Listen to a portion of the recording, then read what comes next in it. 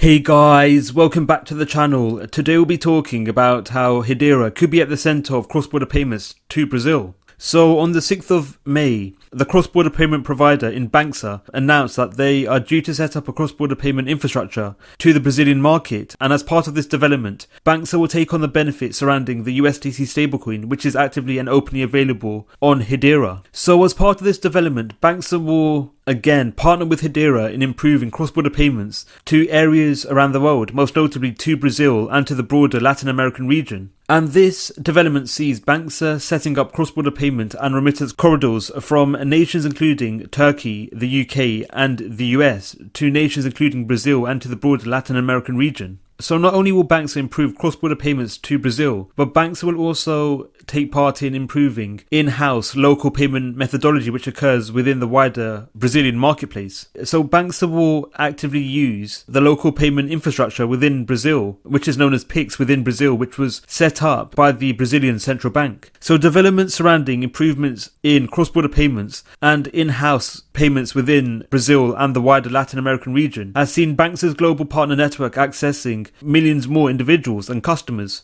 So Banxa's involvement in cross-border payments and payments within the wider Brazilian marketplace has seen the organization take on the benefits surrounding Hedera's network, where Banxa's payment infrastructure is actively built on top of the Hedera network, where Banxa will use Hedera to act as a local on-off ramp for payments around the world. So Hedera is one of few DLT offerings that provide the USDC stablecoin. So Banxa will take advantage of the USDC stablecoin, which is openly available on Hedera, and this is coupled with the high degrees of scalability, cost effectiveness, and high finality rates surrounding Hedera where activities surrounding cross-border payments through the active usage of Hedera by the likes of Banxa will mean that thousands of transactions can be actively enabled through the active usage of Hedera, either through the usage of HBAR or the USDC stablecoin. So with this development seeing Banxa having accessibility to millions of customers around the world, most notably within Latin America, this could be quite beneficial and bullish for the overarching Hedera network, as Banxa will directly use Hedera's network and the USDC stablecoin to execute transactions transactions more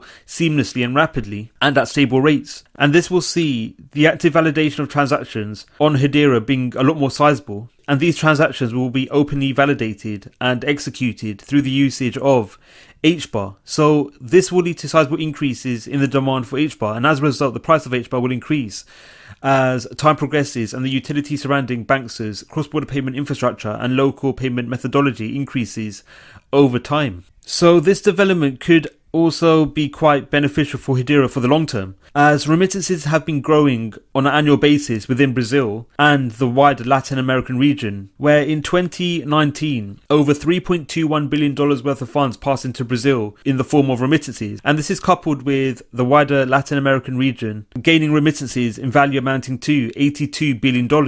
So again, the sizable amounts of funds that could potentially pass through Hedera, even if Hedera takes up a small chunk of this marketplace, could be quite significant for the overarching Hedera network and for the likes of Banxa, and even for individuals based in Brazil, as the usage of Hedera will improve the efficiency surrounding payments within the wider Brazilian marketplace. So Hedera's involvement in cross-border payments to Brazil and Latin America is coupled with Hedera's involvement in cross-border payments to other regions of the world, most notably to South Africa and South Korea, where in a joint collaboration between Shinhan Bank and Standard Bank, these banks have openly used Hedera to improve cross-border payments to South Africa and South Korea, uh, where again these banks have openly minted tokens to represent the local currencies of South Korea and South Africa. And these actions will be actively validated through the open usage of the Hedera network. And similar to how Hedera is openly used in Brazil, these actions will be actively executed and enabled through the active usage of HBAR. So Hedera's involvement in cross-border payments and remittances adds to a growing list of use cases Hedera is openly involved in and indicates why Hedera is the most widely utilized enterprise-grade DLT on the marketplace. So with more financial bodies openly turning to Hedera, this could be quite beneficial and exciting for HBAR token holders and for the overarching Hedera network for years to come. What are your thoughts on Hedera? Are you bullish on Banxa using Hedera? Let us know your views in the comments below. Thank you for watching Crypto Clan. Don't forget to like, subscribe and click on the notification bell. Let us know your views in the comments below. Thank you for watching and we'll see you in the next video.